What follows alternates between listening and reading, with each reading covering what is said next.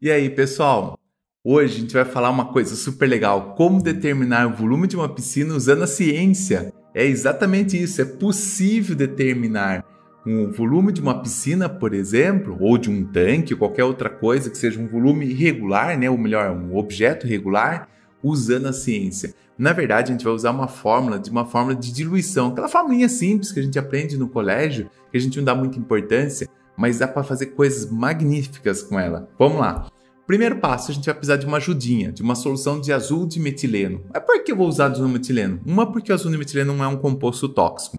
E ele é conhecido como corante. O que é um corante? São estruturas que têm grupo cromófilo, ou seja, absorvem luz e à medida que ele absorve luz, ele emite uma outra luz. Então, no caso, ele vai absorver a luz branca e vai emitir a luz azul, por isso que é chamado azul de metileno.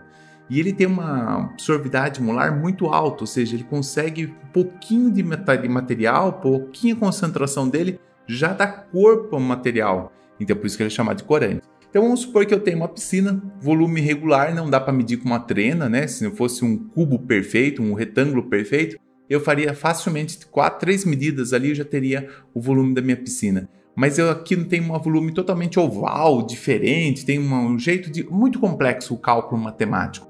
Então o que, que eu faço? Pego um grama de azul de metileno, dissolvo em 50 ml de água e adiciono nessa piscina.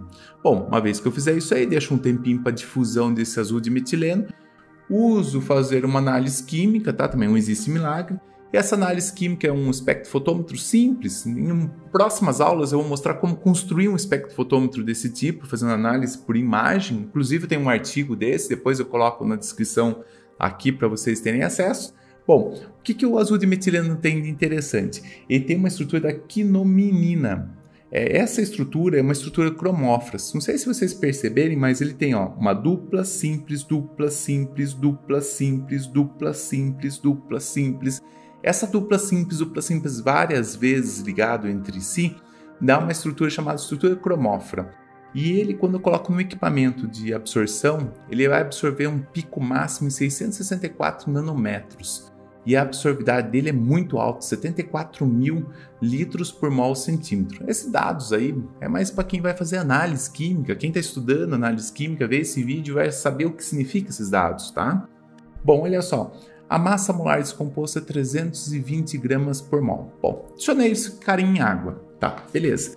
Como que eu vou fazer o procedimento para descobrir o volume da piscina? É muito simples, eu vou pegar um dado da minha análise, tá? Então eu tenho que esperar que o equipamento dê uma análise e eu vou lá 4.1 vezes 10 a menos 8 mol por litro. Então esse volume já é pós a diluição.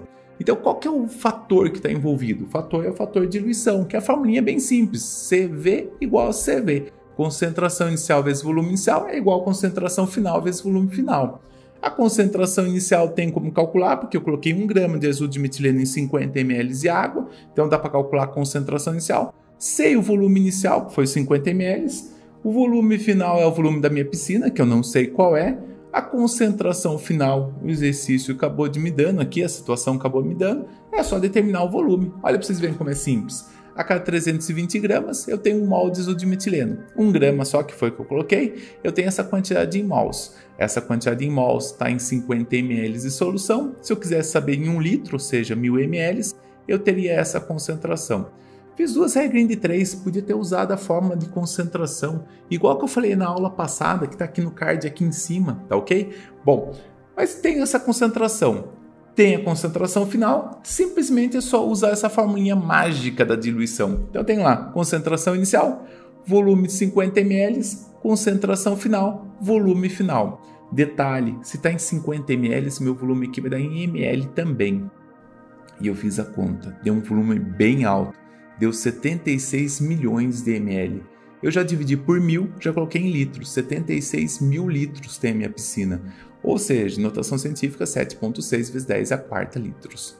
76 mil litros. Olha, piscina grande, hein? Bom, então consegui calcular o volume da piscina de uma forma simples, fácil e rápida. Lógico, precisei usar um espectrofotômetro. Em próximas aulas eu vou tentar construir um espectrofotômetro caseiro que também vai dar uns dados muito próximos, beleza?